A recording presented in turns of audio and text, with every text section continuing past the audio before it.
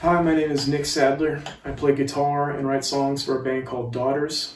I'm here today to introduce to you the latest in our collaboration with Fuzzrocious Pedals, the Empty Glass Drum Mod.